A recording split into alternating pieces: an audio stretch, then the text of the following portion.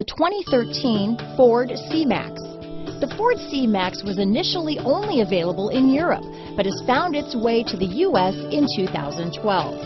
With folding seats and ample cargo room, the C-Max is available for almost any need.